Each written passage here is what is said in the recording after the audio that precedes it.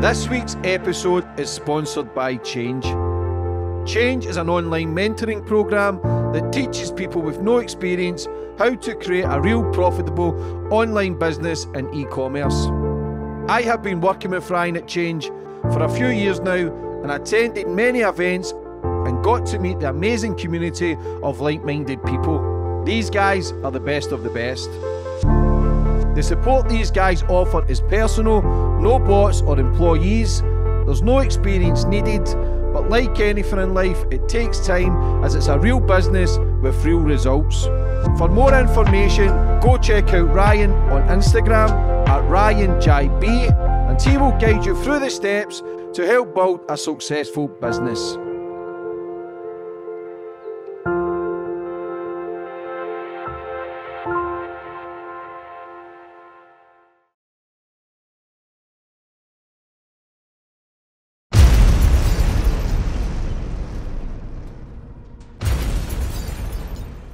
You can now follow me in all my social media platforms to find out who my latest guest will be.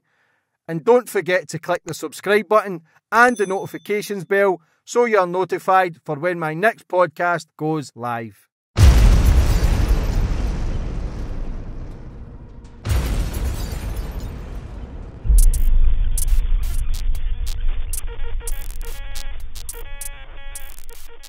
Boom, we're on. And today's guest, we've got footballer David Goodwillie. How are you? I'm good, James. Thanks for having me, man. First and foremost, thanks for coming on the show. It's a very sensitive subject. I've got to be honest, no many people would touch these things. I wouldn't have went near it if it was in a court of law and you were found guilty, but it was a civil case, you were found guilty, court of law, there was no evidence where it couldn't go to court, is that correct? That's correct. I think there was insufficient evidence. Uh, I think what the kind of reason we got, the, the threshold wasn't met to go to criminal court, you know. Uh, and that's just one of those things. It's not to me, you know. It's it's up to the crown, and I know the the accuser, she feels badly, rightly so about that, you know. But like, I'm the same as her. Like, you know, I don't I don't feel like I've had justice. You know, I feel like I feel like we've both been kind of put in a almost like in limbo because we're never going to get the justice that we both seek. You know. Like I say, this is a very sensitive subject. I'm not a judge, I'm not a jury, I'm just an interviewer. I feel as if everybody deserves a chance to tell their story to a degree. Like I say, if you were charged in a criminal court, I wouldn't have had you Yeah. because it's. No, it's, I get that. Do I you know, know. what I mean? But before we get into everything, I always go back to the start of my guests. Get a bit of understanding about you, where you grew up, how it all began. Yeah, well, I was a young boy uh, from Stirling. Um, kind of, uh, I don't know if you know a place called the Raploch. That's No. where I was brought up. Uh, with my family, you know, like normal upbringing, like mum and dad, and still together to this day. Uh, this is probably part of one of the reasons I'm here as well. You kind of like get, my mum's always on to me saying you need to speak up. You know, like, it's been twelve years, you've had all this thrown at you, and, and like, I think she's given me a right old shove that I needed to like because you almost bury your head in the sand with something like this because how do you fight something like that? You know, people think I'm I'm this monster, I'm this beast, a rapist. You know, it's something you, you're you're afraid to fight, but you want to fight, but you don't feel you've got the courage or strength to do it. But I think I've been pushed around too much now, and I've just kind of got to the point in life now. I've got a family. You know, like I've I've I've probably shied away from it for too long, protecting them, thinking I'll just keep doing what I'm doing and, and I'll take care of my family. But now I'm not even allowed to take care of my family, you know. What were you like at school? Uh, I was a good lad. If you speak to my school teachers, maybe they'll say different. But like, I think I was just more interested football, football, football daft. You know, all my teachers used to say to me, "Look, you might not make it. It's like one in a billion make it in football and things like that." Uh, and I wish I listened now. You know, I wish I, I wish I had good edu- education and I could walk into a decent job. You know, but I'll need to start from the bottom, work my way up. But I'm I'm, I'm looking forward to the new challenge. And you started with the D United youth team. Yeah, as a kid, uh, I think I was maybe I was quite a late bloomer with Dundee United. You know, like I played youth uh, boys club football up until I was about probably about fourteen. You know, and that's quite late. Normally, you're in pro youth, pro youth 12, 13. about twelve and that. You know, I was training. I trained with Rangers, Hearts. Rangers, I felt uncomfortable, you know, the Glasgow boys, and I had a, a strange second name, so they had a field day with that. uh, and when you're that young, you feel like you're getting picked on, and I felt like that. Uh, went to Hearts, and at that time, Hearts were only sending man mountains. Like if you weren't a six foot two at twelve year old, they wouldn't want you. So I was quite a small kid, And then the opportunity came for Dundee United, and I kind of got a trial game, and uh, it must have been about 14. I done well in a trial game, and then the, the head scout was saying, "Look, we want you. Can we sign you?" And I said to my dad at the time, "What do you think?" And he he just said, "Go for it." You know, what else you got to lose? And and, and never look back. That was me. What age did you make your debut? I was 16. I uh, probably thrown into it a bit too soon, but um, I was training with the first team in that at 16, so I think it was Gordon Chisholm at the time. Uh, he was a manager, and yeah, I remember he actually said to me on a Thursday, like, "Do you think you'd be all right playing in, in front of sixty thousand at Ibrox?" And I was like, cheeky wee guy. I went, "Ah, no, no bother, you know, easy." I didn't know he was actually being serious, you know. So I was saying to the boys, "Ah, I'm playing on Saturday," and that he actually threw me on as a sub for the last twenty minutes. I think we got hammered though. How was that experience? Oh, it was amazing, you know, like because I had friends still at school. Like my, my best pals were still doing like fifth year at school and things like that. And uh, I was going back at the weekend to see them and things like, and they were at school all week and I was at Ibrox playing against like the mighty Rangers. You know that was it. And I was thinking, this is mad. You know. So after, because you were Scotland's next best thing apparently, you were scoring goals all the time. You made a, you got a Scotland cap as well. But see, many goals did you score your first season? As a young kid, Uh, yeah. Dundee United. Oh, I don't know. Like you know, maybe I couldn't even I couldn't even remember. But remember back then, you would be scoring maybe three and four a game in that. Eh? So as a kid in a season, you'd be looking at 50, 60 goals a season. Eh? So seeing you made your debut, how many games did you have that season? Was that the end of the season? Uh, that was nearer the end of the. No, I don't actually think it was because I actually played another game. Uh, for the, I did play a few games that year. I couldn't tell you how many, but uh, I ended up being lucky enough to actually get a game against Hibs. I always remember it, and I scored a goal and things like that. I was 16, and then I became the youngest ever goal scorer in SPL. So that was a good one to have. And then uh, it, it stayed like that for a, a good few years until I think the boy Fraser Fyvie beat it. He was at Aberdeen. So what you were thinking then, young boy, coming from a shit area, youngest player to score Scottish football, life going good there, or did you still feel pressure on yourself? I don't think you feel any pressure at that age. Eh? You just think, you know, you're you're playing in front of fifty thousand fans at, at Ibrox, and you're on ninety quid a week. You know, you're probably thinking, I hope I've got enough money to pay for the train on the way up on Sunday night. You know, like one of the ones you don't feel pressure. Once you've got, if you've got less, you feel nothing. You know, because it's just you just think it can only get better. So I didn't feel a lot of pressure as a young boy until probably I was turning about eighteen. You know, and then that's when you need to develop and get better, get out of your bad habits. New managers come in, they don't think like things about you, and then that's when you kind of screw the nut.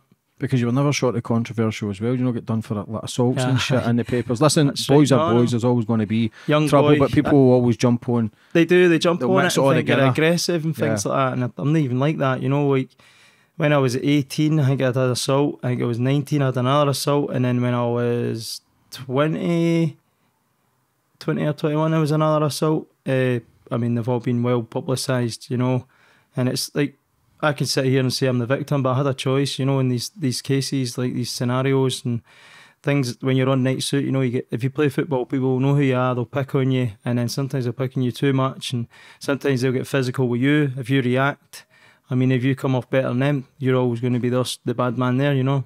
Did Nib ever tell you, grab you by the fucking ears and say, listen, get your shit together as a young boy? did. And because seeing that kind of mentality out drinking and, and causing trouble, it's no good for the reputation, it's no good for the club. Did Nib ever try and pull you aside to Oh, tone aye, tone there, it wa- back a there was there was quite a lot, you know. There was boys there. Had like when I was a young boy growing up, I had like Derek McInnes was the, the captain of the club at this time. Uh, yeah, then as it progressed, you had like Lee Wilkie. Remember Big Lee Wilkie? Yeah, he was big defender. Everybody Dundee. respect. Aye, everybody respected him. He was a great guy.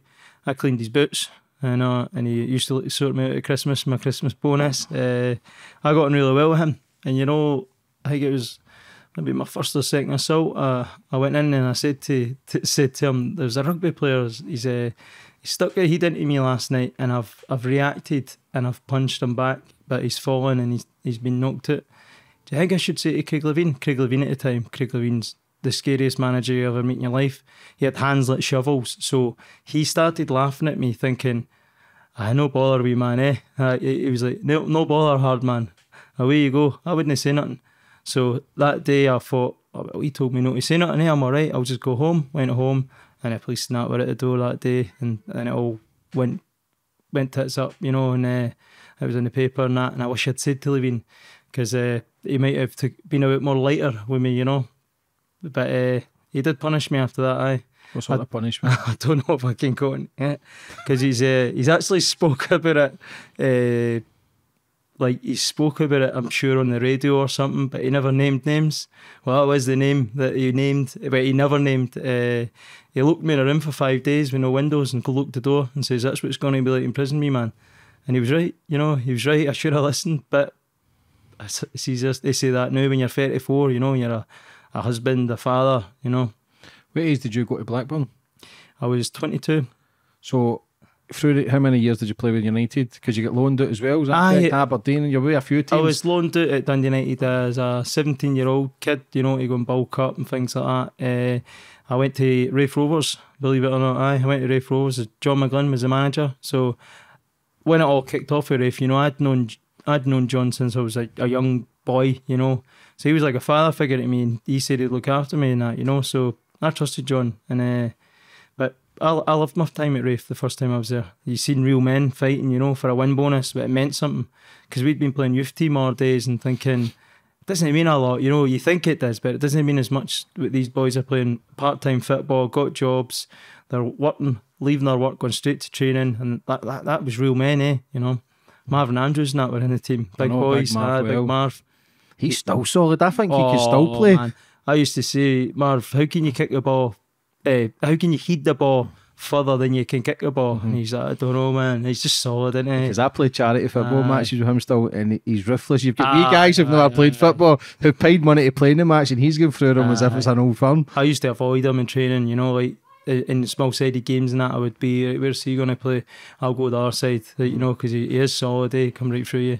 Did you know how good you would have been at that age? Did you have the confidence? Nah, I think you know, I probably wasn't even that good a player back then. You know, I was more of a poacher, and you would score goals, and you still had you still still headlights because you scored the goals. But see if you looked at your overall all overall play back then, you know, still had a lot to learn. So, how many goals did you score for Dundee United your last season there? When before I left, Yeah. uh, I think it may have been twenty or something, twenty odd, but. Which is good for the Scottish Ah, Premier, especially for when Dundee we were kind United. of struggling in that. You know, I had a good season when we we won the Scottish Cup and that, and I think that's where the kind of wee bit of publicity and teams started sniffing. You know, what was it like winning the Scottish Cup? ah, it was great, aye. But even then, like a day like that, you take it for granted. You're a young boy. I think I was 20, 21. Like you just think that's what's going to happen all the time. It's not until you get older you realise, I wish I, I wish I cherished that more. You know. Because a lot of big names then came in for you. Was, were you no close to signing with Rangers? Or was that paper talk? I don't know if you're allowed to talk about that, eh? But like I like before this incident happened, you know, I was going there in January. I was going, and it all got the plug got pulled because of this. I had a had a rape charge on my head. Nobody was going to sign me then, you know. So that that was a dream for mine gone, all because of that night, you know. So, see, when you United, when did you sign Blackburn then? Was that after the charge? Yeah, the charges got dropped in July, mm-hmm. and then it was like maybe two weeks later I was away. So, this is what happened when you were still playing with United. Yeah, this is all going on. You're obviously trying to f- focus. You're thinking, look, if I can screw the nut and try and focus on football and just like forget about what's happening in the outside world and you know things will be better one day. That was it. Aye. So, you're with United, bit of controversy. When did you make your Scotland debut? Uh, I think I was at Dun United. We had a friendly up Aberdeen against some team, and I remember it was like a friendly. Most of the big boys will pull it, you know. But see, you're you're on the fringes. You want your you want you want a call up, you know. So I remember thinking like, oh, like big players are pulling out. Like maybe you'll get pulled in. And I did. I got pulled in. I think we played a friendly up in Pittodrie in Aberdeen. I got on as a sub for a bit. Faroe maybe- Islands. that's right, Faroe Islands. About half an hour I played, done all right, and I thought oh, this is decent now, and that, that you get a wee taste for it, you know, and that makes you want more. And you scored against Spain. I got a penalty against Spain. Aye, my my pals will never forget, like never let me forget. It was only a penalty, you know. That's what they say. I was like, I know, but would you have scored that penalty against Spain? Uh, They go probably. I probably would have. Aye, Where, but where was that, Hampden? eh, no, that was over in Spain. I think it was in Alicante or something. I'm What age were you? I would have been young again, so I'd have been 22, 23 maybe. So your No, whole, no older than 23. your whole career kind of still ahead of you. You're Aye, kind of breaking aye. through Scotland debut, scoring against Spain. So what age did it all happen then? The night, probably, everybody's This what night, watch for aye, this night. aye. This is a night that I've- we've got to be careful because there's victims. Aye, aye. This lass is a victim. You're saying you could Aye. potentially be a victim, so it's just to be your side of it. And I've had hundreds of messages. I'm Yeah. talking hundreds of messages for people, football players, and a lot of people to get you on to tell your story. I'm not mentioning their names because listen, they're going to get backlash Yeah. because we know how sensitive it is. But talk us through before that night started. What happened? Where were we that day? Mm-hmm. Well, that day we were playing up in Aberdeen, um, and it was just a normal winter's New Year's. I mean, we, we don't celebrate New Year really because we were always playing through the kind of festive period. eh? I think it was like the first of January. We played Aberdeen, and uh, we were getting beat one 0 or something, or maybe two one. I've scored in the last minute, and uh, we drew two each or or one each. I can't even remember the score. Eh? And then um, on the bus, like you know, boys are like, "Oh, what you doing tonight?" Things like that. I wasn't actually planning going there. You know, like there was no plans going there. Me and David Robertson were good friends. We lived in a house together in Diggs, and uh, he was like, "Well, if you you're not doing anything, come through and see me. I'm going out with a few of my mates." And I was like, "Ah, I'll, I'll let you know on that," you know. And I didn't think I'll go because I had planned to meet my big cousin, Gareth, his name was, and uh, so I just went along with my own plan. Like I was going to meet him, and we went to a bar in Stirling that night, and uh, it was kind of New Year, and there was nobody there. It was dead. Eh? My phone goes, and Rob was like, "What you up to?" You know, and I was like, "Oh, not much. We just came to the first bar." He says, "You you been drinking yet?" I was like, "No, I was just about to have a drink." He says, "Jump in the car, come through and see us. It's better here." And that was it, man. I went. If I never went, you know, who who knows what could have happened? So, in the nightclub, what happened? How did you meet? How did you start talking? How did it all start? Well, we went to the first bar, uh, and I actually met Denise before I even got to the first bar. You know, I was driving up the kind of high street in Bathgate, and uh, she says doesn't remember this either. But this is before we even got to the first bar. I, I pull over to two kind of women walking up the hill. I didn't know where the bar was, and I just says, "Do you know where this bar is?" They tell me where they're going. They say we're going there as well. We'll see you there. I thought nothing of it. Drove up, turned left, parked up, and we went into the bar. You know, I never really had much conversation with her, even in that bar. You know, Robbo was there more than me. He knew her from school. How did you end up back to the house? And whose house was it? It was Robbo's mate's flat, and um, I think the plan was to go back with. I think it was a girl called Rachel and Denise. We were going to go back there, you know, like for a party, you know. But it was one of those things. You're you're on a night out, and you've been kissing and things like that. So you're kind of thinking it might lead to something, it might no, you know. Uh, and it obviously led to more than what what you thought it was going to be. How much do you remember of that night? See, everybody will think that, oh, you must remember everything, but you were drunk, you were intoxicated yourself, you know. But I remember I've written, like, quite clearly that there was no kind of like, nobody was like sleeping or that. If that's what everybody thinks out there, you know, that wasn't the case. We were all talking, all laughing, joking, just like normal drunken people would be doing, you know. Was she spiked or anything? Was she saying? See, I've read these stories as well about her being spiked. You know, I'd never touched a drug in my life, so I don't know where she's getting that from. Like, I would, I would never even think about doing that. You know, I, I don't even know why we would even need to do that. You know, she was buying the drinks herself and that. You know, Was it any any reports that anything come back? Well- the system was clear. I've read some of the medical records and it says there was three traces of uh, drugs in her blood, and then I've read other medical records that says there was no traces of blood, eh, drugs in the blood. So I couldn't quite put my finger on that. You know. Because she says she woke up, nobody was there, she couldn't find her clothes. What time did you leave?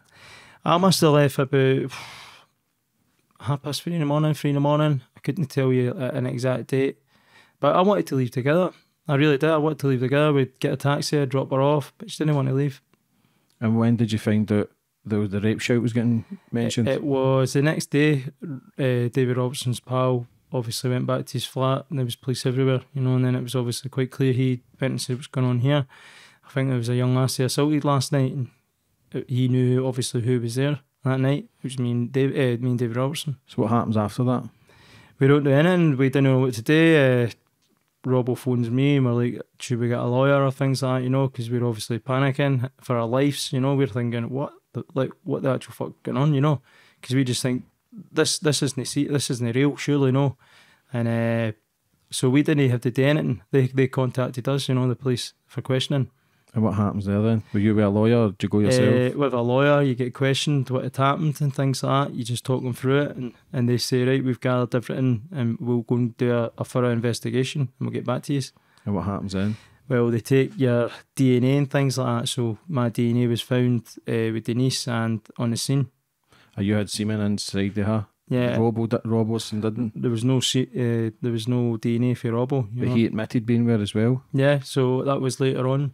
So once they get the DNA from me, I can get charged with rape, which happened. So I was in charge to it. Uh, and Rob was obviously rightly so confused, thinking, what's going on, you know? And a lot of people say, uh, like, why did Robbo say that, you know? Like, why did Robbo, like, Robbo, he didn't need to say anything. He, that was him, he was away. Like, he could just go right off into the sunset. Nobody even knew he was there, you know? But he just came out and he says, no, I can't do that, you know? We need to go and tell the truth and that's what he done. So he went to the police himself off his own back, told them the truth, the story, and then uh, I think he had to go to like a court or something to do it, and and they took all these evidence and what he had said, his testimony, and then they came to that decision. So she thought it was just you and her back at the house.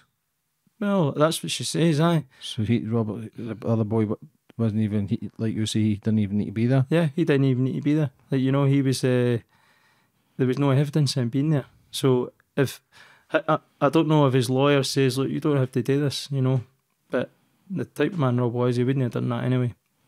What about medical reports? Was there any forced entry, any bruising, any scratches? no bruising, no scratches. There's, there was no physical violence. That's what a lot of people don't understand. You know, it was nearly like a like we never stalked Denise and thought, look, she's getting dragged down to a bush and doing what you want. You know, because I know that there's all types of rapes. I know that like you know there's there's a lot of physical abuse out there that doesn't need to be violent. You know, but this case wasn't violent. This is three people drunk having consensual sex, and, and what was happening in front of me was like normal. Like she was talking, laughing, joking, joining in, you know. So for her to say she can't remember that, it's it's hard for me to live with because I'm thinking if I could only show you the way you were acting, we had no idea that you were going to wake up in the morning and not remember this, you know. How long did it take after your statement for you to get charged? Uh, it would have been a, probably about a month, I think. Yeah, they get the DNA test back and all that. And then as soon as I've got that, I've got enough evidence on you. When did you? How did you feel as soon as you found out you were getting charged with rape? oh, gutted, you know, like actually, I remember obviously because I'd been hiding this inside and they told my mum and dad or nothing, you know, and I, and I got the phone call saying it's, it's coming on the news. And so I've drove home to my mum and dad's right before the six o'clock news and it was it was the headline, you know, and I had to try and tell them before it comes out. And uh, obviously I'm in tears and things like that. I'm telling them like this is this isn't true. Like and they're just saying, look, you just need to fight it, son. Where were you? What did Dundee United say? They took us in in the morning, chatted away, and like they kind of came to the point, like, obviously this is a really serious issue. Like you could lose your jobs and all that. Uh, they decided to to back us until the out, the outcome had come to it. You know, So how long did it take before the charge get dropped? uh, that went on from probably January till July, so it was a good six seven months. How were you when you were charged? Were you hiding or were you Oh. still out in the streets just not giving a fuck? Like how, how, oh, how that's what people think, aye, but no, no, I was probably in a dark room for a long time after that. You know, even like my football obviously took a hit as well. Like people won't even remember, but I couldn't kick my own arse, you know, for for a couple of months after that. I owe a lot to Peter Houston because he just stuck by me. He says, "You'll get through this. You know, you'll get through it. Like what you're feeling right now is isn't forever." So hi- his confidence in me gave confidence in myself to like start playing well again. You know. Were you still playing for the first team? I was still in the first team in that. Aye. What was the fans saying? Oh, like the my own fans, my own all fans. All fans you were playing Oh. against. Oh, the fans I was playing against, you know, they had a field day. You know, like we know she said no, like singing at the foul game. You know, like even going to like Parkhead and things like that. That's all you can hear. And you try and kid on you, it's no bothering you, but it's hurting you. It's eating you up inside. You know, it, it still happened to me this day though. Like like nobody sees that either. So even when I was at Clyde, you know, I go to away ground. It's all about me. It's not like that- that's sitting half the players I play with, even the team I'm playing against, saying, I don't know how you can take that, you know, but I don't have a choice. Uh, Listen, it's the worst label you can be Mhm. labelled with as a fucking sex case. Let's be honest. A sex offender, you know, Yeah. like a rapist. Like I don't want to be that. I don't want to be known as that. You know, that's why I want to keep, I want to fight and clear my name just as much as she wants to fight and get justice. You know, because I want justice as well. How long does it take for the charge to get dropped? Uh, charges got dropped in July, so it's pretty instant. You know, you get a phone call from a lawyer, and, and you're thinking, obviously as a, a young boy, you're like, I don't know if that's was that really the lawyer. You know, it's like a, so much weight taken off you. It feels, but then on the other side, you need to think about Denise. Like Denise will be thinking, she's been let down. You know, but to me, I felt like the truth has come out, but it's there's two sides to the coin, you know. So insufficient evidence. The the the threshold for the evidence did they meet for court, like uh, crim, uh, crown criminal court? And what's going through your mind when the charge gets dropped? Back home your life, you can move Aye, on. That's it. Like so, you're thinking, right? I need to try and get back on my life, learn from that, le- like learn from that. You know, like never put yourself in a situation like that again. You know, and uh, and I've learned from it. You know, like people will think you, you've never learnt your lesson because you've never been to jail and that. You know, things like that. But that's not how it works. You know, I don't. I, I you can't just go to jail because people want you to go to jail and like show remorse or rehabilitation. You know, that was one of Nicola Sturgeon's big ones. You know, like rehabilitation. He's never he's never had to do that. But in a civil matter, you don't get that. You know, you don't get rehabilitation. It's like you get sued, right? You owe this person money. You know that that's it's just money in the courts. So if we were going to get real justice, we go we go to criminal court. How was the press? Press had a field day with me. They always have, you know, like their headlines: shamed footballer, rapist. You know, they don't care. And and the press are the first person to come out and say someone should have been there for that boy. You know, like oh, they should have spoke to someone and all that. Once you're found hanging for a tree, you know, they, they don't care. So the charge gets dropped. How long did it take to sign for Blackburn? Was it two million, three million signing on? Uh, I think they, I think he signed for about two point eight million or something. It was, but I think it was like two million up front and that with add-ons. And I mean, the time I had at Blackburn, they probably wouldn't have had the add-ons. Let's be honest. Uh, I it was fairly quite quick, you know. But when I went down to Blackburn, I, I didn't actually want to go to Blackburn. You know, like no disrespect to them. You know, I was always wanting to go to Rangers at the time. You know, and I, people will think I'm a big Rangers fan and that. I'm actually not even a big supporter of football. You know, I just like playing the sport. And then I always say to my wife and that, like, if I was to pick a team, I'd pick Stirling Albion. You know, that'd be my team because I'm from there. And when I'm younger, I'd take my son to Stirling Albion games, you know, if he wants. I can't take my daughter, she's not interested, eh? She says, I don't want to play football. But that's it. Did you have options? I did. I, uh, I mean, I had contact with Rangers at the time when I was going down to Blackburn, you know, and it's a funny story because we get down to Blackburn to do the medical and uh, Blackburn postponed the medical till a day later. I freak out and say I don't want to be here, and my lawyers have to take me back up to Glasgow because I'm saying I'm I'm, go, I want to go to Rangers.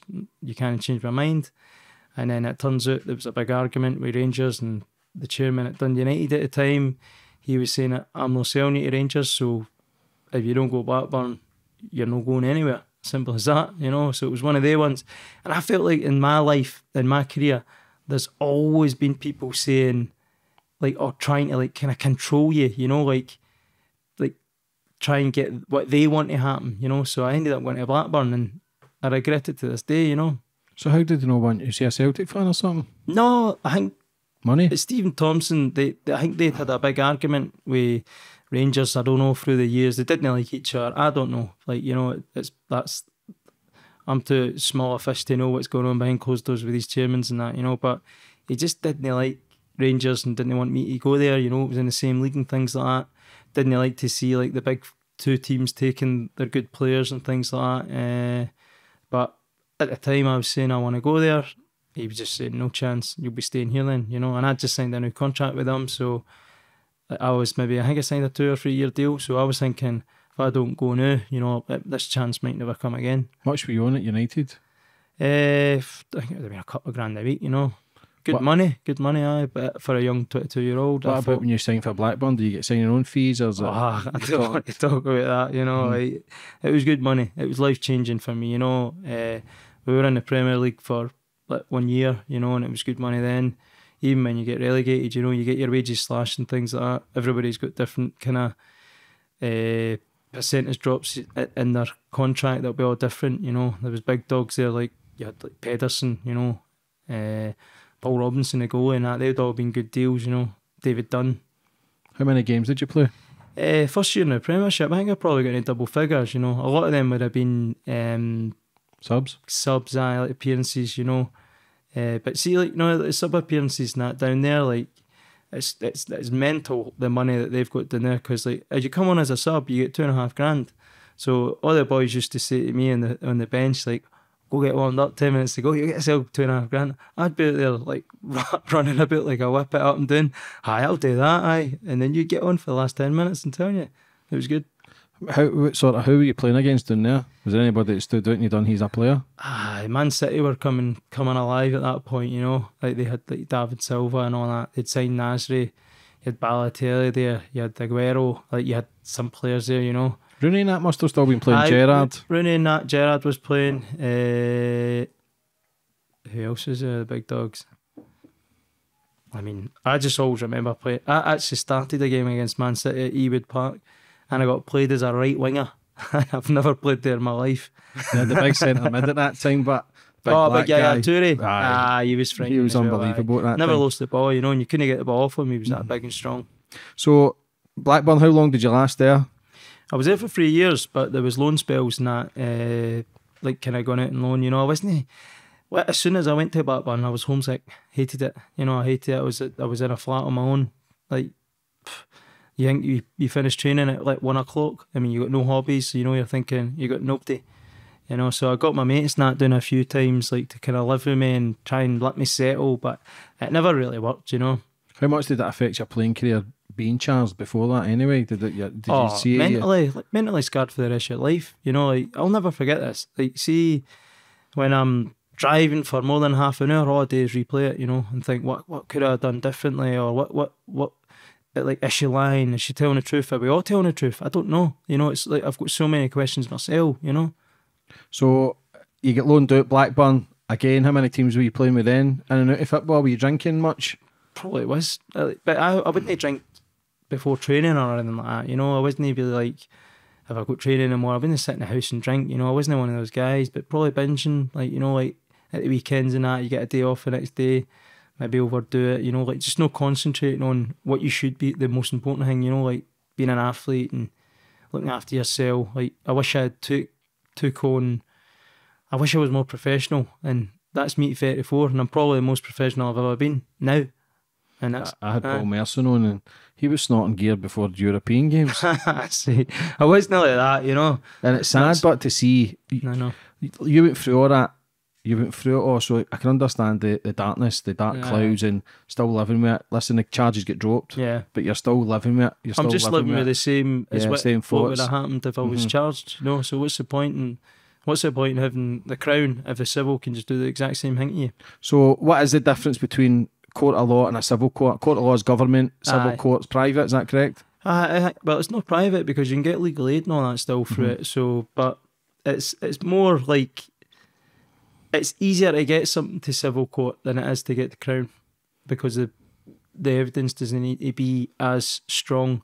It's probabilities, you know, like oh, she's probably too drunk, you know. But we're playing with probabilities, and that's playing with lives, you know, like because oh, she probably was too drunk, or or or she probably wasn't too drunk, like how how can you just probably choose what path somebody's going to go after this? You know, I don't think it was right, but Do you agree your career kind of stalled then? oh, I like it. Well, after the civil case, I went, I, I chucked it at Plymouth. You know, I never got sacked. There'll be people saying you got sacked. I never got sacked. I spoke to Derek Adams as soon as I got told what, what way it went. You know, um, and I just said I can't be here. I need to take my wife. I need to, I need to go away and.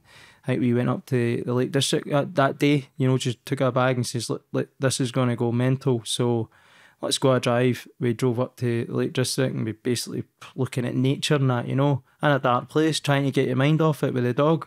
Well, how did you know this? How does the civil case work? So you're through. Oh, you're kind of getting on with your career. It's kind of stalling. But how long did it take for the civil case to come back around? Did you know this was happening? Aye, so after all, everybody's been heard. It, it takes a good two, three months. I think it was like kind of maybe it finished in November or something. We didn't hear back till what would we say January. Uh, That's when I got a phone call in the morning before it gets released from my lawyer. How long did it take?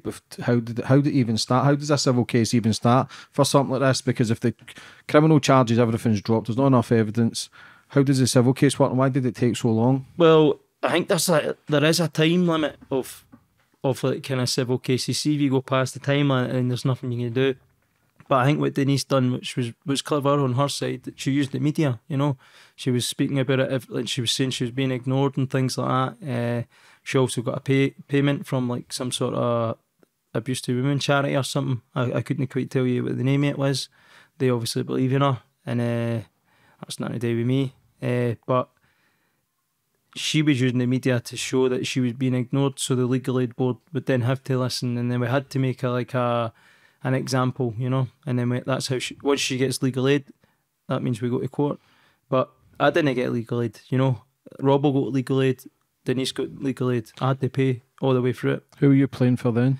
I was uh when I when I heard she got legal aid, Aye, when the civil case was coming round. uh, when it was coming in, I was at Plymouth. But when I found out she was getting legal aid, it was I was at Dundee United on loan back from Blackburn. So as soon as she gets legal aid, that means the That case means- can go. What happens if she doesn't get legal aid? there would have been no case. Like she would have had to pay for a lawyer privately, you know. Uh, but as soon as she gets legal aid, that means I need to get a lawyer and things like that. Then that that then it's like three or four years, you know, before your case, or maybe two years before the case gets heard. It did go on for ages, you know. And so you know the civil case is coming round. It might take two years, Aye, three aye. years, four years. How was your football career then? doing hell after that, you know. Like that was it. You're you don't you're not concentrating on football then, eh? Like you're constantly paranoid, you know, like thinking what's going on, like what's happening now on the phone to your lawyer, changing lawyers. You, you didn't know who to trust, you know. You're thinking, is this lawyer with me or is he is he just using me? You know, and it's one of the things you're you're only, I'm still young at this point, you know. I'm still 24, 25, and you're thinking I need I need somebody to trust, and it was hard. How long did this go on for? Uh, it went on for a couple of year aye, before we went to the court. And how did the press another field day? I field day every time, eh? Be me. Um, but that's the thing, Like, could they still print even though it was a, a case going on? How does it work with Aye, a civil well, case? And nah, they wouldn't print. media- I don't think much up until the case, but there would have been the odd few like hanging it there. Um, but when it's actual at court, like I mean, they're in it's in the paper every day. What's been said that day and all that, you know, might be scrutinised and, they'll point it to where they want it to go. It's up to them. so, see when you get called, is it like a courtroom? Oh, aye, it's like a Civil. proper court. Aye. So, do you get called for? A, do you need to give evidence again? Aye, you need to give evidence. So everybody that was involved, witnesses and things like that, we all got up and stand. Uh, That's it. And you get questioned by her lawyer, my own lawyer, and things like that. And do you need to go? Yeah, you need to go. Aye. You've been summoned. And what happens if you don't go? I'm not sure. If it's a civil I case, I couldn't because it's not a court you. of law, is it? You no, can't, no, you that's can't go to the jail, can you? Question. Aye, I don't know. I'm not sure what would have happened there. Uh, I've not got a clue. Yeah, but you can't get the jail, I can know. you? So, what is it? uh, How does it? I genuinely don't. know I genuinely don't know either, even to this day, and I've been through it. You know, I Did wouldn't you know. feel pressure to go? Aye, there was loads of pressure on me, you know, like I'm thinking like we're gonna go here, like we're gonna get the truth and that, just like Denise says, thinking that as well, you know. We're all up for it and pff, it just went another way for me, you know. And what happened when you had to give evidence? Was it the same stuff you were saying the first time? Aye, same stuff like what you've said to the police and things, you know. Nothing changes, it's just the same thing. It's the was the story coppers there? Was the coppers there giving evidence as well? Eh, I'm not sure. Doctors. Maybe one like policewoman or something like that, or policeman was there, but nah, there wasn't a lot of police or that involved in it. What about background reports with yourself, the girl, Robertson? Was any stuff? How Eh, does it? I feel like maybe they they asked for background checks on us and things like that. We asked for background checks on on Denise as well. I, And how long did it last when you were in court? uh, I think it was for about a couple of weeks. Aye, it was a long long couple of weeks. And who who makes the verdict? Is it judges? Is it It's a juries? it's one judge. One one judge has got that in his hands. You know, like he's he gets to, he listens to everyone, reads over it, and he comes to his decision. It, he gives his opinion on it. So his opinion was that she was probably too drunk. That was his opinion. So it's a court of opinions. You know, it's, it's, I don't, I don't really know, but that's the thing. So my solicitor was saying that's just the judge's opinion, you know, like, and I think we appeal it, and then there's like three other civil judges that say, no, we'll stand by, like what Lord Armstrong said. But this was the first of its kind, or the second time? I think it was the second time it had ever been done. Aye, And how's it not done all the time? I don't know.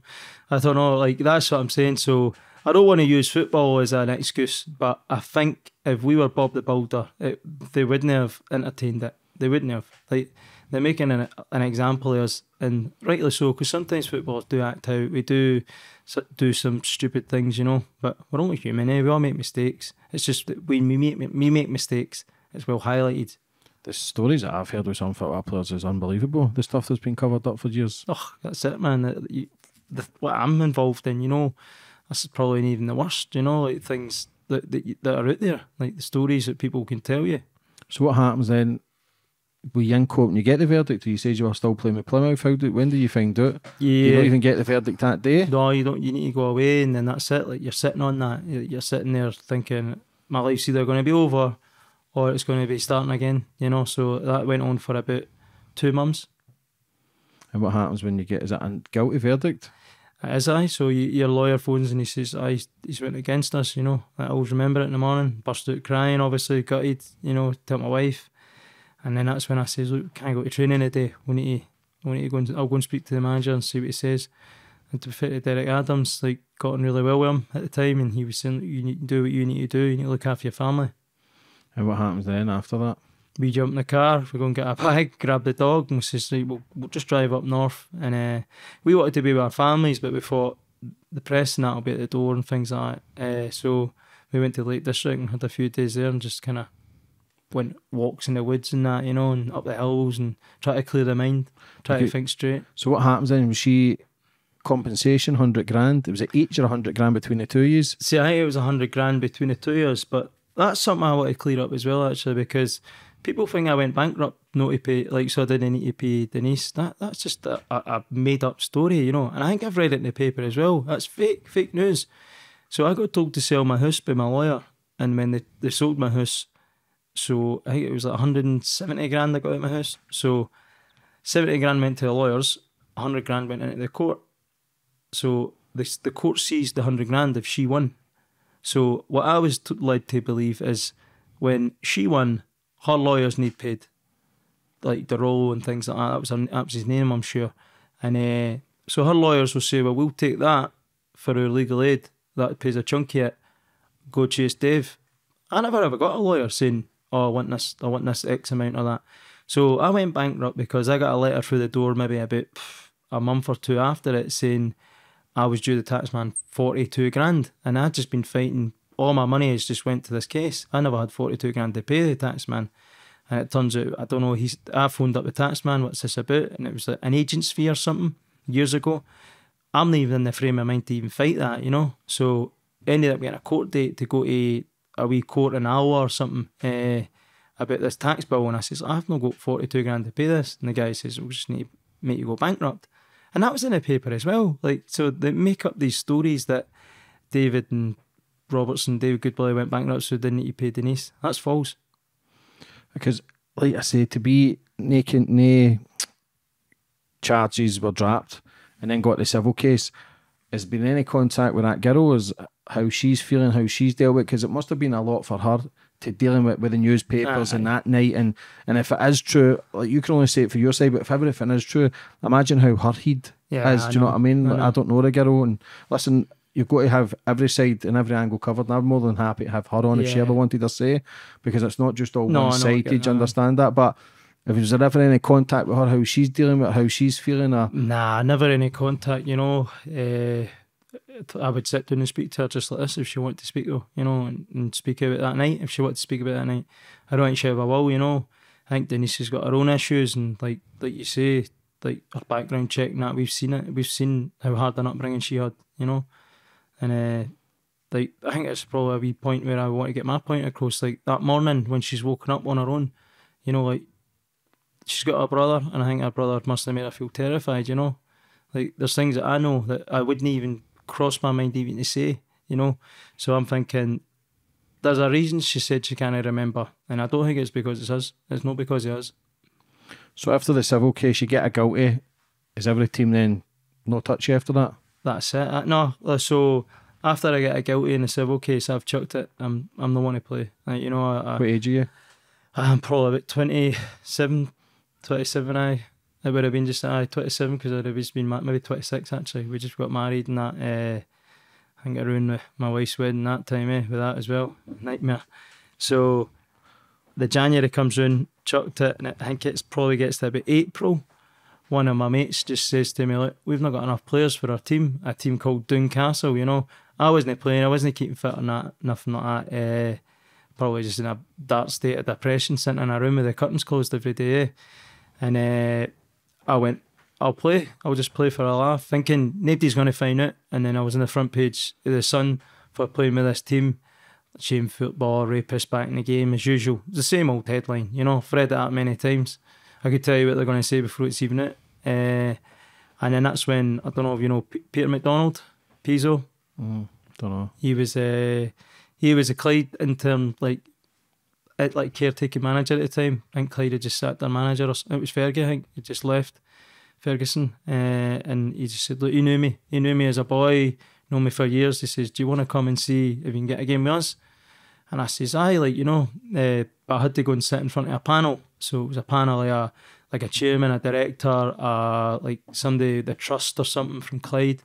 They asked me questions, asked me how I feel about it, you know, uh, and they come to the decision that, aye, we'll give you a chance, you know, but people think I just walked back into football. You know, I never got any. I never got paid at that. You know, I played for free till the end of the season. I think there was like six or seven games left in the season.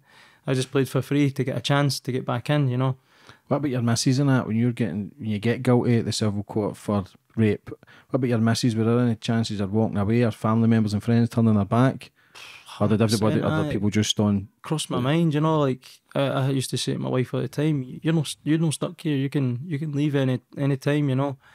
And but she's always a strong woman. She stayed by me, you know. What about kids? Got my kids as well. I've got my daughter at four, my son at eight weeks. Uh, so I don't think they know too much about it. But this is why I'm speaking today as well, you know, because they they're going to grow up. They're going to hear it. They're going to people are going to talk to them about it, and uh, like I'll speak to them about it. You know, that's it because you want to tell your side of the Aye. story, and rightly so. This is an Anything Goes podcast. Aye. I will shy away from the interview, and listen, I'll get backlash for this, and that's yeah. all right because I'm used to it. But I feel as everybody deserves a fair chance to tell their side. You've got a daughter now as well. Yeah. A lot of people, you're trying to make people see that you're a good guy, and maybe there is question marks to be raised. But if your daughter came in and says that to you, Daddy, I've been with two men, they've raped us. Yeah. What's your first instincts? That's, I've, I've had this conversation with quite a lot of people. I'd be the exact same. I'd, I would that hit the roof, you know. I'd say, where are they? Let's let's get this sorted, you know. You've got to believe that, you know. You've got to. But in the case that I'm in, I know what happened, you know. And Denise has never said she's been raped, you know. Denise has always said that she just can't remember. She just wants to know what's happened. We told told her what had happened, that that's that that means it's rape, you know. So after all that, because this is why you're here as well, you've been in the papers the last few weeks. You've been signing for teams, yeah. contracts getting ripped up the next day. Who did you sign for first? Was it Raith Rovers? Aye, so I was at Clyde and Raith Rovers bought me from Clyde, and then that's when it all kind of kicked off. Uh, I think there was a main sponsor there, Val McDermid. I mean, she just kind of ripped me apart, you know. Uh, but when I went to Raith Rovers, I was told that you'll be fine and things like that. There's people didn't agree with it, but they'll, they'll come round and things like that. So where I was at Clyde, I was happy there. I was captain. I helped with the disability classes and things like that, uh, and I was enjoying it. I was working as well, had a job, and uh, what were you doing? I, I was a electric electrician's mate, you know, and, and and that's what I'm doing to this day. I still I went back to my job, you know. People will think that oh, go and get a normal job. I've got a, I've got a job, you know, but like the cost of living, you know, you want you want more for your, your family, your your wife, your kids. So I, I want another job. You know, what's wrong with that? If I can use football to do that, then great. So, alright, so Raith Rovers, you signed for him. How long did it take for your contract to get ripped? I think I signed on a Monday night. Uh, they had a game on a Tuesday night against Queen of the South, and I went in, and uh, there was no talk of being sacked then. I got treatment because I had a, a hamstring problem and uh, physio just said to me, "Look, we're going to leave it to the weekend, so you're hundred percent. That's fine. You're the physio. I'll take your word." Uh, we were off the Wednesday, and there must have been a lot of chat on the Wednesday because I went in on the Thursday, uh, and the manager pulls me in and he just says, "Look, you're not going to be able to play here." And this, this is Monday. I signed Monday night. Within like there must have been about thirty minutes left in the window, you know. and I had concerns. I didn't. I wasn't sure if I wanted to go there, you know, but I was reassured. Did you have other teams to go to? Uh, I don't want to name teams, you know. I don't want to like. But did you have other teams? I did have other teams. I had a couple of things. Uh, I probably had a different option, you know, that I wanted to go, and Clyde stood in the way. It, you know, they didn't want me going there. So where did you go after contract was ripped? Back to Clyde? Uh, aye, so Raith, they turn around and says, we'll loan you back to Clyde. it was like, I just felt like something that nobody wanted, like just get out the door, you know. So I was like, right, okay, at least I've been there for years. Um, like the, I know the manager. He's like he's Danny Lennon. He was like a father figure to me. We got on really well. Spoke about everything, even about this. You know, he helped. He's a religious man, and he used to speak to me about it all the time. How to be positive and use use it this negative as a positive and be better in life and all that. So I, I took all that on. Danny took me back in, open arms, uh, and then I think it was we had a game that night, and it was like a some or a friendly or something against the, the Rangers B team or something. So after the game, I got showered and that, and then the gaffer was like, oh, Danny Lennon was like, I'll phone you in the morning. I went, okay. So the morning comes in and the chairman phones me for Clyde and he says, look, you, you can't you can't be here either. And I'm thinking, what what's going on here? I've, I've been here for like five years. Like, how can I not be here? Uh, North, North Lanarkshire Council, they're getting involved now. And I was thinking, oh no. It turns out North Lanarkshire Council is run by SNP, which hasn't helped me because Nicola Sturgeon's already been on the news slaughtering me, you know, like jumping on it. And she uh, saying? She was saying that I've showed no remorse, I've not had to do rehabilitation, you know, like things like things that I'm never even going to get the opportunity to do or even anyway. And anyway, I'm an innocent man. I, I, I still say it to this day. I'm walking about free. Like I'm not on a sex offender register. I'm not got any charges for this. You know, I don't even have a criminal record anymore. All the assault charges I've had, they're all gone, you know. So I've cleaned up my act, you know, and I've I've tried to be a better person. But the head of North Lanarkshire Council came down hard on Clyde and says, if he comes to training on Thursday night, your your contract of our lease agreement will be torn up. And it was a man called Jordan Linden. I don't know if you've read about him in the news. Like he's just a hypocrite, you know. He's got like five sexual assault charges or, allegations on his name, sending pictures to 14 year old boys. Like, this is a guy that's in charge of North Lanarkshire Council telling me I'm no fit to go to work, where I'd been working for five years. And I would love to know if the press went and spoke to people at the club and says, "What what was he like?" It, like, because they would have, they would have went and tried to get some dirt. And I bet you everybody says that he was well mannered. He spoke, he spoke to everybody. And like, I used to sit with a tea lady before games and chat away to her and ask how she was. She's an old lady, you know. Like I, I used to go out my way to be nicer than the rest of the boys because I knew what I was carrying was like obviously a bit more pressure. You know, I had to be nice and had to like go out my way to help because I knew that this rate thing, people are going to be scared of me or skeptical and thinking, oh, I'm not sure about him.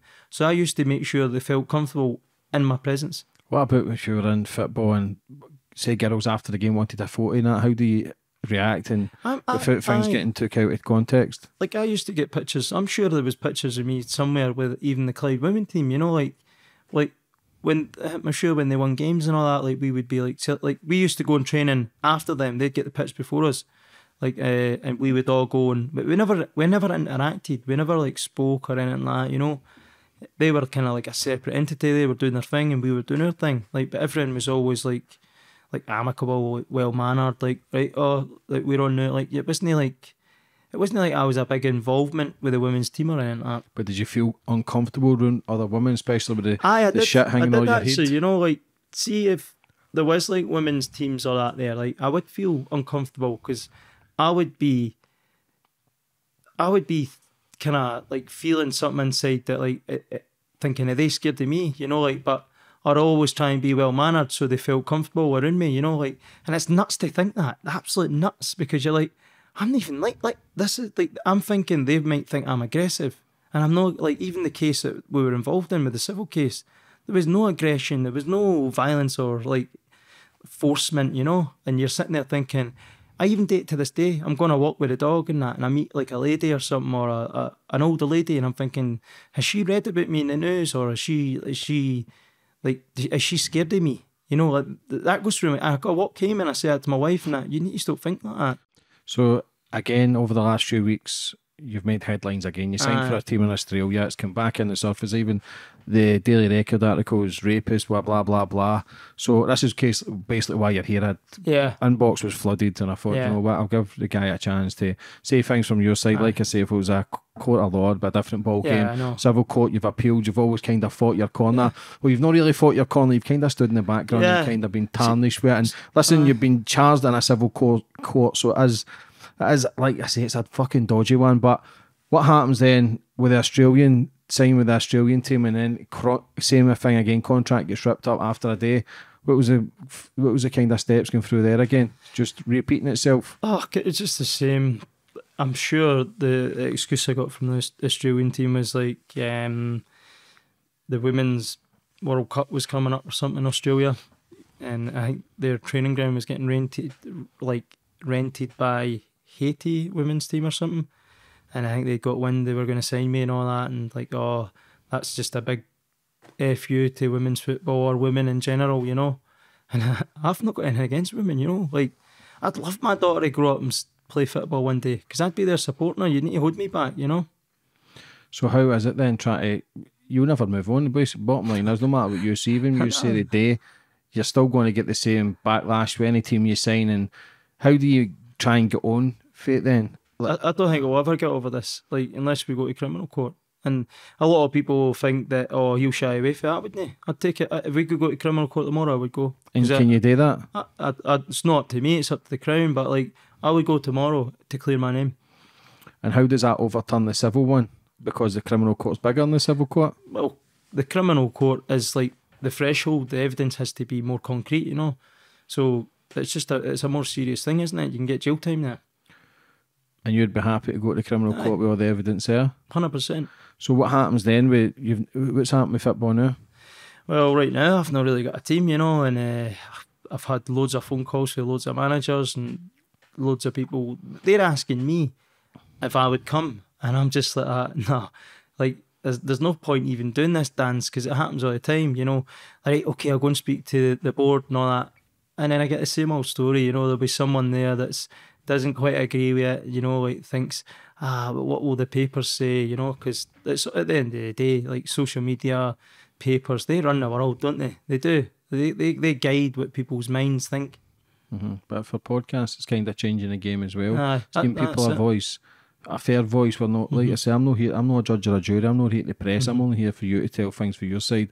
Happy to have the girl Denise on to tell Yeah. things from her side. Happy to have the two of you sitting across from each other. Yeah. If that can ever happen to talk it out, I don't. I genuinely don't know.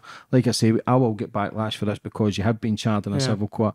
For me, you've not been charged in a court of law, which kind of Well, you don't get charged in a civil court. yeah. But you know what I mean. You were you were. Uh, how do you? What, so what is it then? You've you've been sued. You know, you have been almost been served. You know, like uh, it- it- civil courts are normally for like business deals that go wrong. You know, and nine times out of ten they all get settled that. But I like it was all new to me. I was thinking, what is this? Like I remember saying to the lawyer, so what happens now? Do I go to jail? And he's like, nah, like th- th- this isn't a jail thing. This is like, and I'm sure his words was like, this is this is just a money court. You know, like you, you can't actually get jail time for this.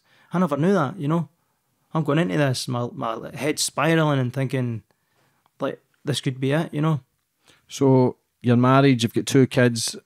Your kids are four and just one's a once newborn. weeks. Aye. how do you worry about them when they go to school and you know you you know how kids work and everybody Yeah, get yeah. internet is that a concern for you It's a concern for me, aye, you know, because like I don't want to think that about their dad either, you know, like just one night from hell, you know, like and it, it can it can just set up your whole life, you know, like the way it's going to go. Uh, but I, I hope I've got a good relation. I'm going to have a good relationship with my kids, and I'll sit them down one day when they're old enough, and I'll explain what happened, and uh, and we'll just take it from there, you know. you ever suicidal Oh, all the time, all the time. I'll say that to my wife. You know, like, like, especially after the first minister gets involved. You know, you're thinking, I'm one man, and this is like an army against me. Like, I cannot fight this. Like, I've got nowhere to go.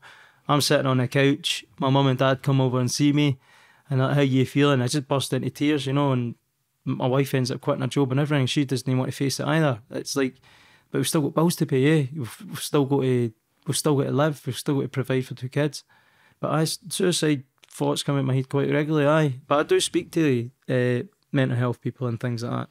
Have you got a counsellor or anything? Or Not a counsellor, someone that I was, like I don't know if she wants me to mention her. It's like I, I kind of speak to the women from uh, back. Uh, is it Back Onside? Mm. Uh, Libby. She's been a lot of help. You know, she doesn't take sides. She's just there for people that need it. Aye. How are you feeling right now? Uh, positive. You know, like I'm thinking th- this is a chance for me to say what I want to say, and like I hope people can take for it. And like for what happened to me, like I always think like like my son could be involved in something like this one day. You know, maybe have too much to drink, gets caught up in a bit of romance. You know, and it's like this romance goes wrong, and then before you know it, you're in court. How you? How's it took you so long to kind of come forward and tell your story? it's I've always wanted to speak, but I've always been told not to speak. So I don't know what's going to happen after this. I've always wanted to speak for years and years. I've been told by lawyers not to speak. You know, people c- more clever than me, like, but it's no helped me up until this point, has it? And then even when I was at Clyde playing, I thought if I come out and speak now, like you know, I've got a daughter now to like kind of worry about. Like if I come out and speak now, well, is it going to ruin my like our wages, like our, our, our way of paying for our bills at Clyde. So I've probably shied away thinking, I better know, I better know saying it in the new, or you end up, you've not got a wage coming in that month, you know. Why now? I don't have anything to lose, you know, like they've taken everything that I love, like, you know, like playing football. And and see, if I got a chance to play football for free, I'd, I'd still take it. Because I just like playing the sport, eh? How much is it? Pff, Listen, football's probably kind of. It's probably damaged your life in a lot of ways with the lifestyle that you led. But But it again, clears it's, your pro- mind. again, it's probably kept you sane Aye, aye. when you were going insane. It's the only thing that's kept me probably alive. Like, of that, my family, obviously, my wife, my mum and dad, and all that, you know.